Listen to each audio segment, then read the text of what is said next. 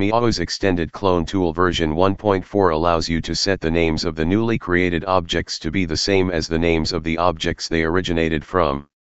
To do this, just check the use the same name as the original checkbox.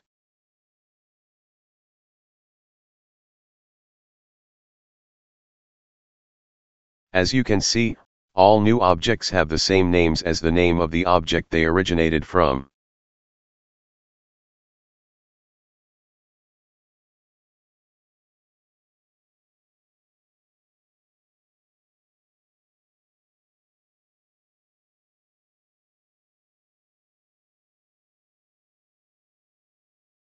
Use the same name as the original does not work for objects inside groups and for objects linked to a parent when the parent itself is also copied.